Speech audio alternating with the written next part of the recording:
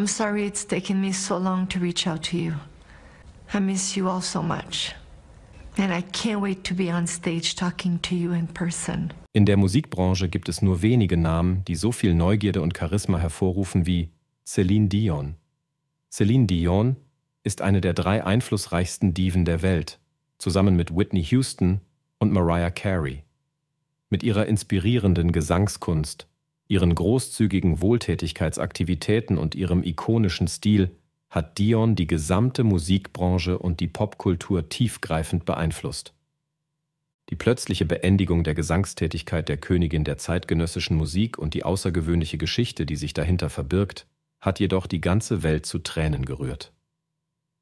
Celine versucht immer noch, ihren Traum von der Rückkehr auf die Bühne zu verwirklichen.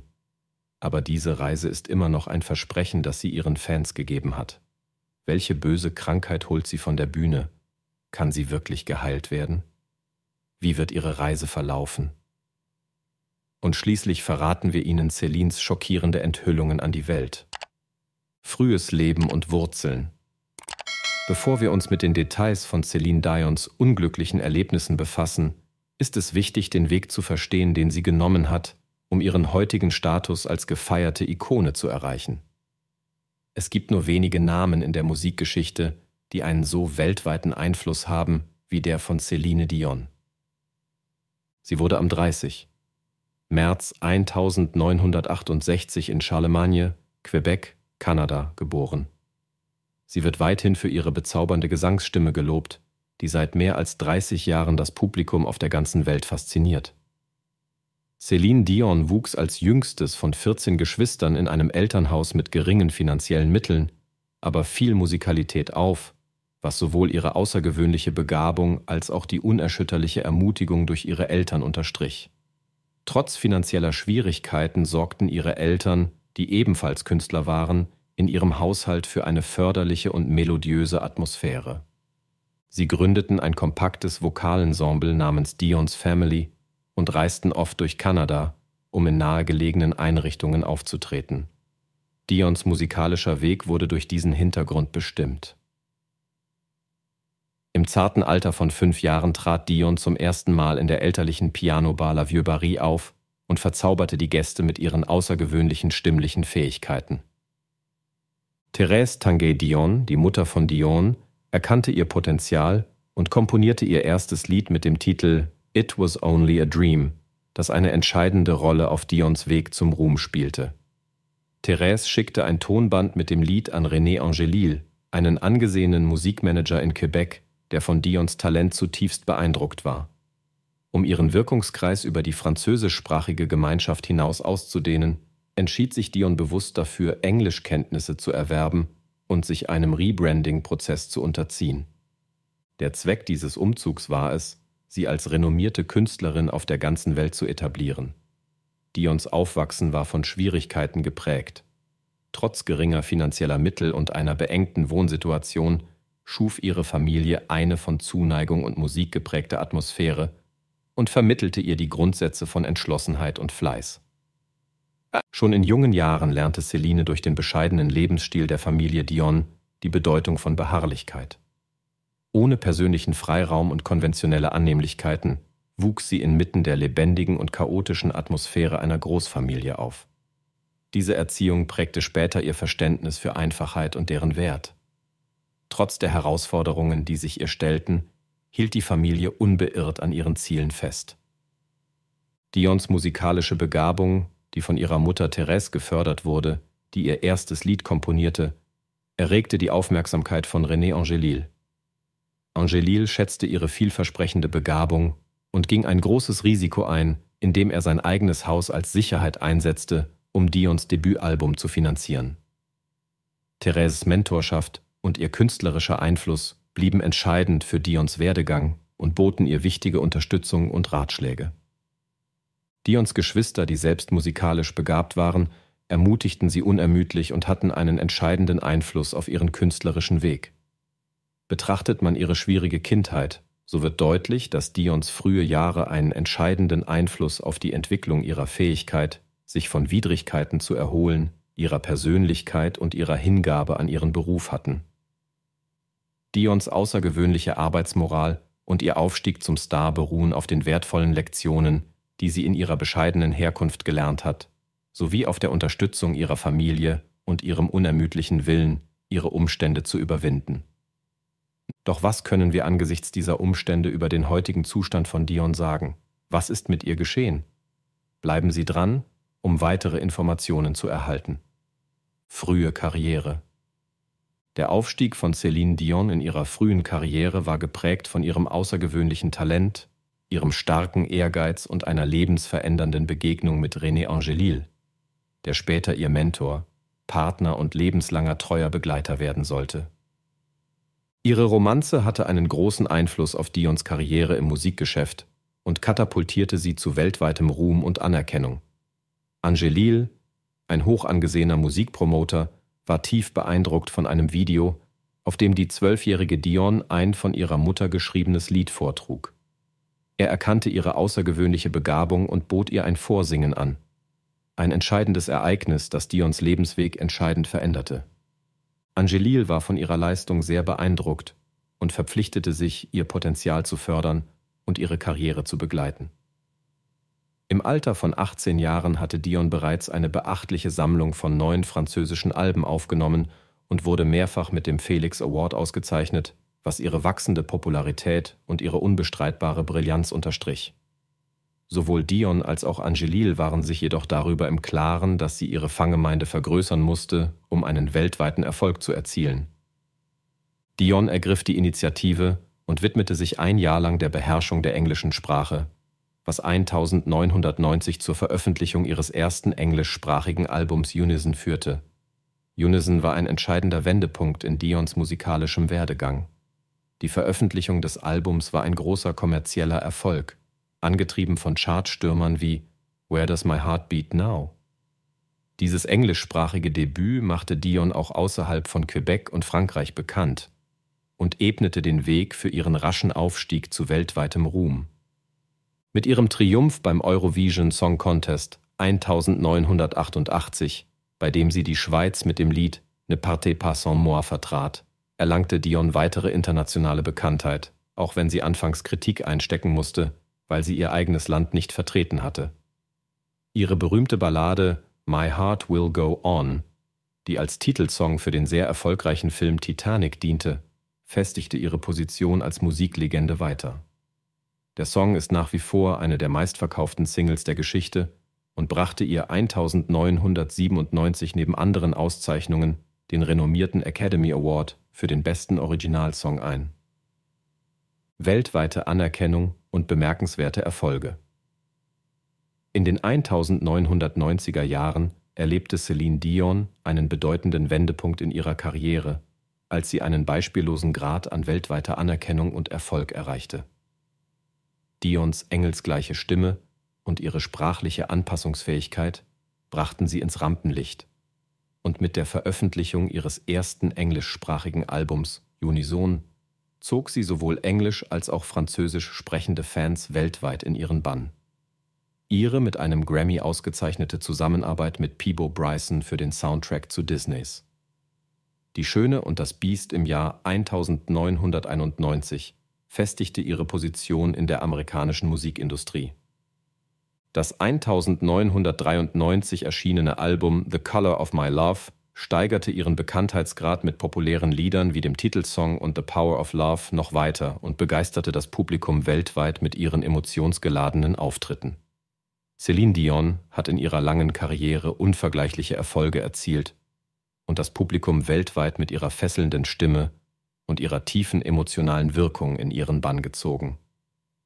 Eine ihrer größten Errungenschaften ist der klassische Song My Heart Will Go On, der 1997 in dem sehr erfolgreichen Film Titanic verwendet wurde.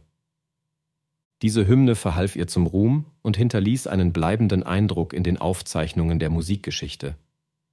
Sie wurde mit zahlreichen Preisen ausgezeichnet, darunter fünf Grammy Awards, zwei Academy Awards, sieben Billboard Music Awards und zwölf World Music Awards. Dians Alben haben kontinuierlich die Spitze der Charts erreicht, wobei mehrere von ihnen mehrfach Platin-Status erreichten. Die Anerkennung, die sie sowohl auf dem kanadischen Walk of Fame als auch auf dem Hollywood Walk of Fame erhalten hat, festigt ihre Position als prominente Persönlichkeit in der internationalen Musikszene. Heirat und Beziehung mit Angelil. Die Verlobung von Dion und Angelil im Jahr 1994 erregte weltweites Aufsehen und zeigte ihre anhaltende Liebe und gegenseitige Wertschätzung. Ihre anschließende Heirat, die in einer aufwendigen Zeremonie in der Notre-Dame Basilika in Montreal stattfand, wurde sowohl von Fans als auch von Fachleuten auf diesem Gebiet sehr bewundert. Dions beruflicher Erfolg ging mit der zunehmenden Bedeutung ihres Privatlebens einher, denn Angelil spielte in ihrem Leben mehrere Rollen. Er war ihr Mentor, Manager und eine unerschütterliche Quelle der Unterstützung und Liebe. Dions frühe Karriere, die eng mit ihrer Romanze mit Angelil verbunden war, ebnete den Weg für ihren unvergleichlichen Triumph. Gemeinsam stellten sie sich den Herausforderungen und Kritikern und stärkten Dions Willen und ihre Fähigkeit, sich von Schwierigkeiten zu erholen. Dies ebnete ihr schließlich den Weg zu einer der bedeutendsten Persönlichkeiten in der Geschichte der Popmusik. Diese Etappe in Dions Leben verdeutlicht die wechselseitige Beziehung zwischen ihren Fähigkeiten und ihrem Fortschritt. Angelils unerschütterliches Vertrauen in ihre Fähigkeiten und die nachhaltige Wirkung ihrer außergewöhnlichen Zusammenarbeit bildeten die Grundlage für ihre bemerkenswerte Karriere. Persönliche Kämpfe und Kampf gegen die Unfruchtbarkeit. Auf dem Höhepunkt ihrer Berühmtheit hatte Dion mit einer Reihe von persönlichen Schwierigkeiten zu kämpfen, die ihre Fähigkeit, sich zu erholen, in Frage stellten und ihre Persönlichkeit nachhaltig prägten. Dion hatte in ihrem Privatleben mit mehreren Schwierigkeiten zu kämpfen. Als 1999 BI ihrem Ehemann und Manager Rene Angelil Kehlkopfkrebs diagnostiziert wurde, erlebte Celine Dion eine Reihe intensiver emotionaler Belastungen. Mit unerschütterlicher Hingabe unterbrach Dion vorübergehend ihre beruflichen Aktivitäten, um sich um Angelil zu kümmern, was ihre tiefe Zuneigung und Loyalität unter Beweis stellte. Na. Gleichzeitig sah sich Dion mit der sehr persönlichen Herausforderung der Unfruchtbarkeit konfrontiert, einem privaten Konflikt, den sie schließlich der Öffentlichkeit preisgab. Dions mühsame Erfahrungen mit vielen Zyklen der In-vitro-Fertilisation, IFFF, wurden zu einer Quelle der Inspiration für andere Frauen, die auf ihrem Weg zur Elternschaft mit ähnlichen Schwierigkeiten zu kämpfen hatten. Im Jahr 2001 brachte sie ihr erstes Kind, Rene Charles, zur Welt was angesichts der Herausforderungen als großer Erfolg gewertet wurde und ihre weltweite Fangemeinde stark beeinflusste. Trotz der zunehmenden Anerkennung hatte Dion noch jahrelang mit persönlichen Problemen zu kämpfen. Angelils Gesundheitszustand verschlechterte sich weiter, was durch Dions persönliche Ängste nach ihrem Verlust im Jahr 2010 noch verschlimmert wurde. Doch trotz der Herausforderungen siegten Dions entschlossener Wille und ihre positive Einstellung, was später im selben Jahr zur freudigen Geburt von Zwillingssöhnen Nelson und Eddie führte. Dies war ein klarer Beweis für ihre Fähigkeit, sich zu erholen und ihren starken Glauben inmitten von Herausforderungen aufrechtzuerhalten. Dions Aufstieg zum Weltruhm war eng mit einem komplexen Geflecht persönlicher Hindernisse verbunden, das ein umfassendes Bild einer Frau zeichnete, deren Identität über ihr musikalisches Talent hinausging. Sie wurde nicht nur zu einer prominenten Figur im Theater, sondern auch zu einer engagierten Ehefrau und Mutter, die die Herausforderungen des Ruhms mit Anmut meisterte. Ihr unerschütterliches Engagement für ihre Familie und ihre Entschlossenheit, der Krankheit ihres Mannes zu trotzen, sind ein Zeugnis ihres außergewöhnlichen Charakters und haben ihr die Bewunderung von Millionen Menschen in aller Welt eingebracht. Angesichts der schwierigen Umstände gelang es Dion geschickt, ein harmonisches Gleichgewicht zu bewahren und mühelos die Verantwortung für ihr Privatleben und ihre beruflichen Verpflichtungen unter einen Hut zu bringen. Während ihrer gesamten Reise spiegelten Dions Lieder stets ihre eigenen Erfahrungen wider und verbanden sich mit ihren Fans auf einer sehr emotionalen Ebene. Ihre musikalischen Kompositionen wurden zu kraftvollen Symbolen der Stärke, die die Höhen und Tiefen der Herausforderungen und Siege des Lebens widerspiegeln.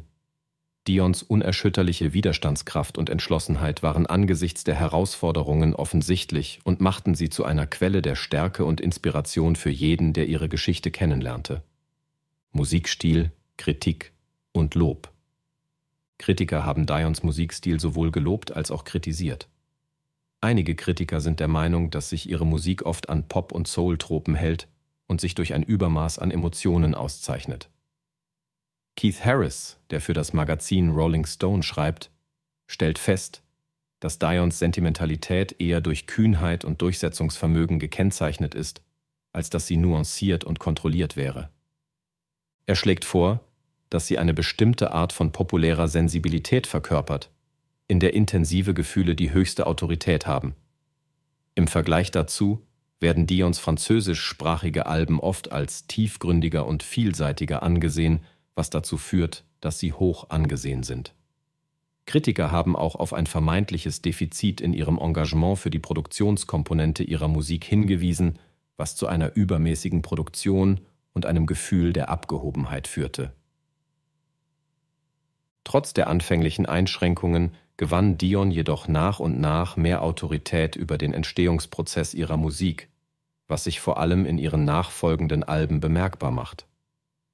Zwar hat sie gelegentlich Beiträge zum Songwriting geleistet, aber ihr Engagement war begrenzt. Im Laufe der Zeit nahm Dion beim Komponieren und Aufnehmen ihrer Musik eine selbstbewusstere und aktivere Haltung ein, wobei sie insbesondere auf frühere Kritiken einging und ihre eigene künstlerische Vision betonte.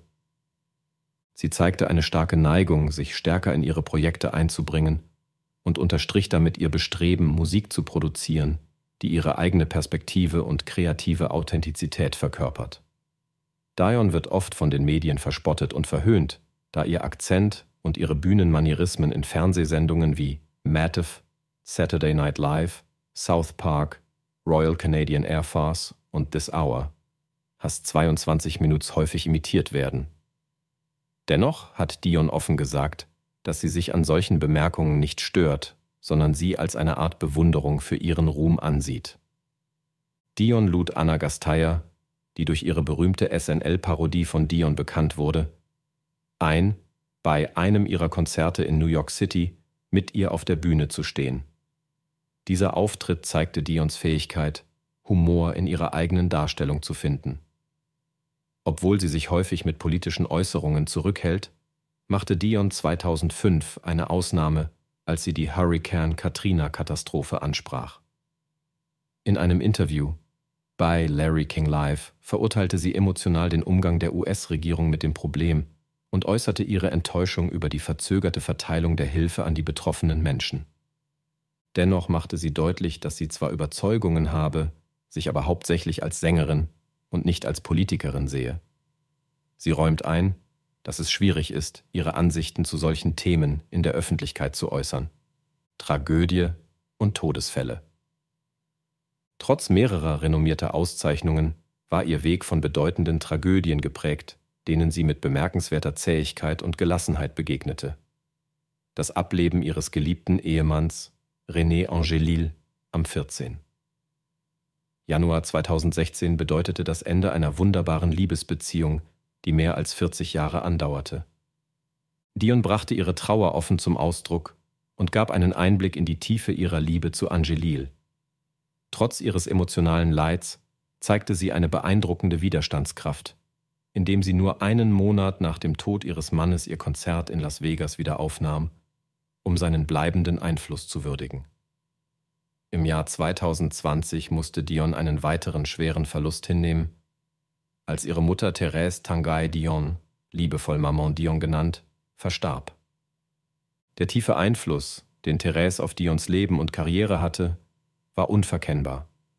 Trotz ihrer offensichtlichen Trauer ging Dion, die am selben Tag einen Auftritt hatte, wie geplant auf die Bühne und beteuerte, dass ihre Mutter gewollt hätte, dass die Veranstaltung weitergeht. Diese Verluste hatten einen tiefgreifenden und dauerhaften Einfluss auf Dion, und beeinflussten ihre Entwicklung sowohl als Mensch als auch als Künstlerin. Ihre Musik diente ihr als Zufluchtsort, als Mittel, ihre Gefühle auszudrücken und ihren vielen Anhängern Trost zu spenden. Im Jahr 2019 spiegelt sich Dions Weg der Genesung in Titeln wie Recovering wieder, der von Pink und Courage geschrieben wurde. Trotz der Herausforderungen, die ihren persönlichen Weg geprägt haben, strahlen Dions beeindruckende Leistungen weiterhin hell. Sie hat ihr eigenes Leiden in ein weltweites Zeugnis der Stärke und Entschlossenheit verwandelt und ist so zu einem Symbol der Hoffnung und Motivation für viele andere Menschen auf der ganzen Welt geworden. Die Geschichte von Céline Dion ist ein Denkmal für ihre unerschütterliche Entschlossenheit. Ihre bemerkenswerten Errungenschaften zeugen von ihrer natürlichen Begabung, während ihr eleganter Umgang mit persönlichen Herausforderungen ihre Tapferkeit und Unverwüstlichkeit unter Beweis stellt. Ihr ganzes Leben lang war Dion ein Symbol für Widerstandsfähigkeit und Motivation, ihre Erfahrungen eine deutliche Kombination aus bemerkenswerten Erfolgen und tiefen Verlusten. Spekulationen über ihren Gesundheitszustand. Spekulationen über den Gesundheitszustand von Celine Dion haben in den letzten Jahren an Bedeutung gewonnen, da sich ihr Äußeres merklich verändert hat und sie vor allem deutlich abgenommen hat. Diese Veränderungen wurden nach dem erschütternden Tod ihres Ehemanns Rene Angeli im Jahr 2016 deutlich. Dions schlanker Körperbau überraschte und sorgte für Spekulationen unter Fans, Medien und Kritikern. Spekulationen über mögliche Essstörungen, stressbedingten Gewichtsverlust und medizinische Grunderkrankungen machten die Runde. Während einige ihre körperlichen Veränderungen auf die Trauer nach dem Tod ihres Ehepartners zurückführten, verwiesen andere auf die unablässigen Anstrengungen, in der anspruchsvollen Unterhaltungsbranche ein makelloses Erscheinungsbild aufrechtzuerhalten. Aufgrund der zunehmenden Mutmaßungen sah sich Dion veranlasst, sich direkt mit den Bedenken der Öffentlichkeit auseinanderzusetzen. In ihrer Erklärung ging Dion direkt auf die Behauptungen ein, indem sie Garantien für ihre Gesundheit gab und die vielen Umstände beschrieb, die zu ihrer Gewichtsreduzierung beigetragen haben die über ihre Trauer hinausging. Dion sagte, dass sie schon seit geraumer Zeit mit gesundheitlichen Problemen zu kämpfen habe. Als eine der Hauptursachen nannte sie ihr eifriges Engagement im Ballett. Die Beschäftigung mit dem Ballett war eine Methode, mit der Trauer nach dem Tod ihres Ehepartners umzugehen. Dion begeisterte sich für die körperlich anspruchsvolle Kunstform, die dafür bekannt ist, dass sie das Wachstum schlanker Muskeln fördert und die Gewichtsreduktion erleichtert insbesondere durch intensives Training. Celine Dion führte ihre Gewichtsabnahme auch auf die natürliche Entwicklung des Alters zurück. Laut Dion verändert sich mit zunehmendem Alter der Stoffwechsel und die Muskelmasse nimmt tendenziell ab, was häufig zu einer Gewichtsabnahme führt. Darüber hinaus sagte sie, dass ihre körperlichen Veränderungen auch durch ihren sich entwickelnden Sinn für Stil beeinflusst wurden, der im Laufe der Zeit immer raffinierter und modebewusster wurde. Nach eigener Aussage betreibe ich diese Aktivität zu meinem eigenen Vorteil. Ich möchte ein Gefühl von Stärke, Schönheit, Weiblichkeit und Sinnlichkeit erleben. Obwohl ihre Gesundheit in der Öffentlichkeit stark in Frage gestellt wird, widmet sich Dion unbeirrt ihrer Musik und ihrer persönlichen Entwicklung. Obwohl sie sich des Schmerzes bewusst ist, den der Tod ihres Mannes verursacht hat, weigert sie sich standhaft, ihre Identität davon beeinflussen zu lassen. Im Gegenteil, sie versucht aktiv Kraft, Hartnäckigkeit und Zuversicht zu verkörpern und motiviert ihre Anhänger, eine ähnliche Haltung einzunehmen. Die Mutmaßungen über Dions Wohlbefinden unterstreichen die strenge Prüfung, der sich Personen des öffentlichen Lebens, insbesondere Frauen, in Bezug auf ihre körperliche Verfassung und ihr Aussehen unterziehen müssen. Dions Haltung ist geprägt von ihrer Fähigkeit, sich schnell von Schwierigkeiten zu erholen von ihrer Wahrhaftigkeit und einem starken Bekenntnis zu ihrer Unabhängigkeit und der Kontrolle über ihren eigenen Körper. Sie bleibt ein Vorbild für viele Menschen, nicht nur wegen ihrer musikalischen Begabung, sondern auch wegen ihrer Fähigkeit, persönliche Hindernisse mit Anmut und Widerstandsfähigkeit zu überwinden. Dieses Kapitel in Dions Leben, ähnlich wie die vorangegangenen, verdeutlicht ihren Mut und ihre Herausforderungen, ihr unerschütterliches Engagement für ihre Fans und ihre kontinuierliche Entwicklung sowohl als Künstlerin als auch als Mensch. Céline Dion als Mutter, Philanthropin und Fürsprecherin. Die Geschichte von Céline Dion geht über die Grenzen der Musik hinaus. Darüber hinaus zeichnete sie sich in ihren Rollen als Mutter, Fürsprecherin ihrer Familie und Philanthropin aus. Ihr Engagement sowohl für ihre Familie als auch für philanthropische Zwecke spiegelt ihre unerschütterliche Hingabe an ihre Arbeit wider und veranschaulicht ihre angeborene Freundlichkeit und ihr grenzenloses Verständnis. Dions Hauptaugenmerk im Leben liegt auf ihrer Verantwortung als Mutter ihrer drei Kinder, René Charles und den Zwillingen Nelson und Eddie. Dions Weg zur Mutterschaft mittels In-vitro-Fertilisation ermöglichte es ihr, die Herausforderungen der Unfruchtbarkeit zu überwinden und ein enormes Glück und eine große Zufriedenheit zu erleben. Diese Erfahrung hat ihre Sicht auf das Leben völlig verändert und wurde zu einem zentralen Bestandteil ihrer Persönlichkeit. Dion gibt aufschlussreiche Interviews, in denen sie ihre Erziehungsphilosophie darlegt und betont, dass es wichtig ist, eine Atmosphäre zu schaffen, in der Kinder sich offen ausdrücken können, ohne durch kulturelle Normen eingeschränkt zu werden. Sie ermutigt ihre Kinder, sich mit ihren Interessen und ihrer Individualität auseinanderzusetzen, was ihr Engagement für Toleranz und das Recht, sich auszudrücken, widerspiegelt. An diesen Grundsätzen hält sie in ihrem persönlichen und beruflichen Leben unerschütterlich fest. Dion ist bekannt für ihre wohltätigen Bemühungen, die über ihre eigene Familie hinausgehen und ihr außergewöhnliches Mitgefühl zeigen. Dions aktives Engagement bei der Unterstützung von Wohltätigkeitsorganisationen, die gegen Mukoviszidose kämpfen, ein Thema, das für sie eine tiefe persönliche Bedeutung hat, da ihre Nichte an der Krankheit starb, unterstreicht ihr aufrichtiges Engagement, etwas Positives zu bewirken. Dion hat ihren Status und ihre Ressourcen regelmäßig genutzt, um Unterstützung zu sammeln und Geld für Hilfsaktionen nach Naturkatastrophen bereitzustellen, was ihr Engagement für die Linderung von Leid und die Förderung positiver Veränderungen unterstreicht. Darüber hinaus gehen Dions wohltätige Bemühungen über die Unterstützung von Kinderkrankenhäusern hinaus. Sie leistet auch aktive Beiträge zu Lebensmittelbanken und arbeitet mit anderen Wohltätigkeitsorganisationen zusammen, um die weltweite Gesundheits- und Bildungssituation zu verbessern. Dions Großzügigkeit wird von aufrichtiger Empathie und dem festen Willen angetrieben, anderen zu helfen. Ihre mitfühlende Haltung zeigt sich auch im Umgang mit ihren Fans, wo sie für ihre Wärme und Freundlichkeit bekannt ist. Obwohl sie im Laufe der Jahre immer wieder wegen ihres Aussehens kritisiert wurde, ist Dion entschlossen und unbeeindruckt geblieben. Sie steht selbstbewusst zu ihrer Selbstwahrnehmung, setzt sich über gesellschaftliche Attraktivitätsideale hinweg und setzt auf ihr eigenes Modebewusstsein. Ihre Unverfrorenheit unterstreicht nicht nur ihre Fähigkeit, sich von Herausforderungen zu erholen, und ihr Selbstbewusstsein, sondern motiviert auch ihre Fans, ihre eigene Besonderheit anzunehmen. Neben ihren außergewöhnlichen musikalischen Fähigkeiten wird Dions Leben durch ihr unerschütterliches Engagement für ihre Familie und ihre bedeutenden Wohltätigkeitsaktivitäten bestimmt. Dions Taten haben stets einen positiven Einfluss auf das Leben der Menschen und hinterlassen einen bleibenden Eindruck durch ihr Mitgefühl, ihre Ausdauer und ihre Großzügigkeit. Geschäftliche Unternehmungen Feeling Inc., allgemein bekannt als Feeling oder Less Productions, Feeling Inc. ist eine Künstlermanagementfirma mit Sitz in Laval, Quebec, Kanada. Die Firma wird von Dion und ihrem verstorbenen Ehemann René Angelil geleitet und ist für die Betreuung der Karrieren anderer Musiker verantwortlich. Außerdem ist Dion für die Gründung der Restaurantkette Nichols verantwortlich. Sie besitzt Anteile am Le Mirage Golf Club und am Schwarz Restaurant, das sie zusammen mit ihrem verstorbenen Ehemann erworben hat. Dion hat sich mit André Agassi, Steffi Graf und Shaquille O'Neal zusammengetan, um den berühmten Nachtclub Pyre im Caesars Palace aufzubauen. Im Jahr 1990 stieg Dion in die Geschäftswelt ein und gründete das Franchise-Restaurant Nichols.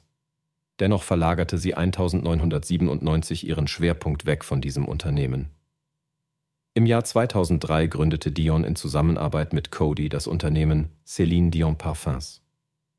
Der Duftsignatur kam im September 2011 auf den Markt, unterstützt von einer Werbekampagne der New Yorker Firma Craftworks NYC.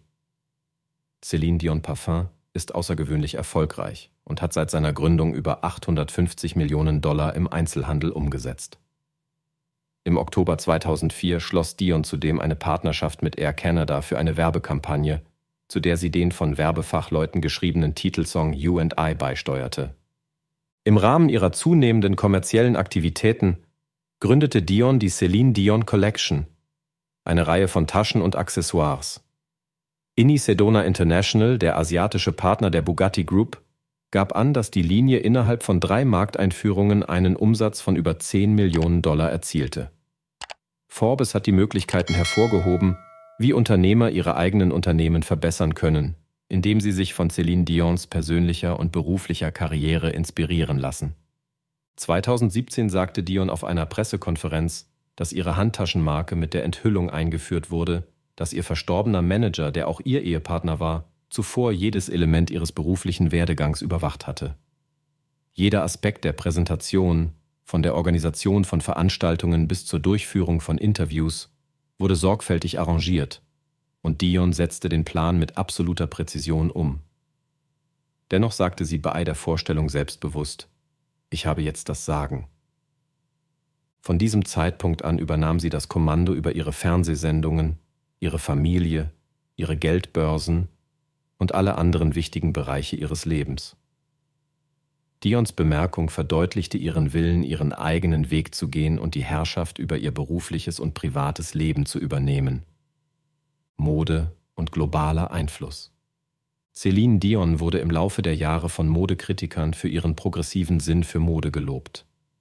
Bugatti begrüßte sie als die überschwängliche neue Modekönigin und würdigte ihre gewagten Modeentscheidungen.